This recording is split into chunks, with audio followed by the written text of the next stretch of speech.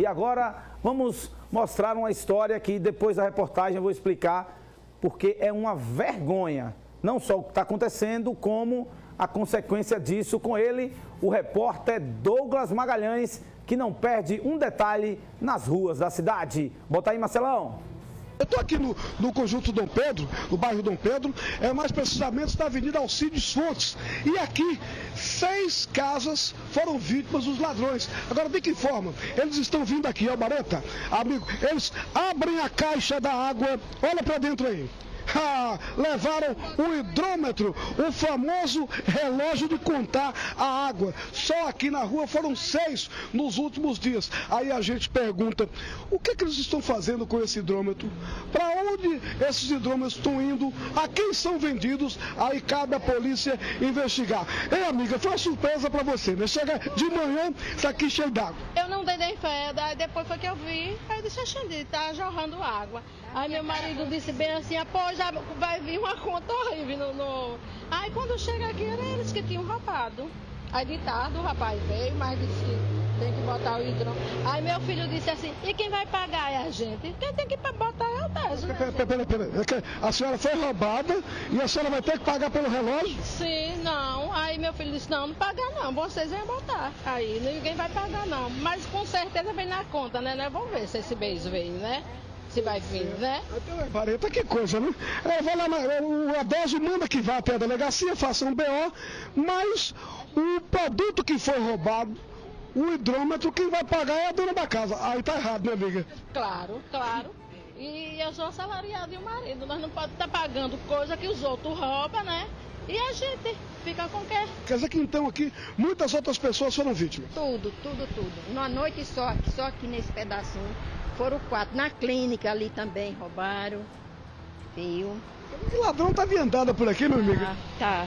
Ladrão aqui. Problema sério. Sério, sério, seríssimo. Eu vou fazer.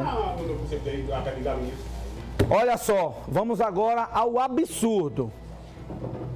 Eu entrei em contato com a assessoria de comunicação da DESO, grande assessor, acho que o melhor do estado, nosso amigo Flávio Vieira. Mas olha só a informação que veio de lá para cá. Você, se você tiver o hidrômetro roubado, se você prestar queixa, você vai pagar R$ 157,78. Isso se você prestar queixa na polícia. Teve o hidrômetro roubado. A DESO vai lá e recoloca. Nas próximas contas, você vai pagar sete prestações de R$ 23,45. Isso se você prestar queixa. Se você não prestar queixa, o prejuízo é pior ainda. Você vai pagar R$ 253,24 ou sete parcelinhas na sua conta de água nos sete meses seguintes de R$ 37,64. Isso é um absurdo. Você teve o hidrômetro roubado por falta de segurança, que é um dever do Estado. A DESO já fornece água, que você paga pela água e você ainda vai pagar por um hidrômetro roubado. Aí eu também fui lá e procurei um advogado especialista em defesa do consumidor. Falei com o doutor Frank During, ele que às vezes aparece aqui na TV Atalaia. Ele disse que isso é ilegal, é imoral e cabe uma ação de reparo. Então, como esse roubo aí está crescendo em toda a capital, rouba, roubando hidrômetros aí na capital, você procure os seus direitos.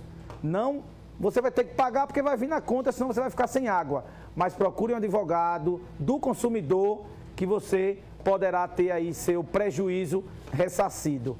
É mais um absurdo do, do poder público no estado de Sergipe. Pelo amor de Deus. Você já fica no prejuízo sem água, que jorra água para tudo lá, vai demorar para tocar o hidrômetro, o hidrômetro, e você ainda vai pagar por ele. Que beleza! Esse é o nosso Brasil.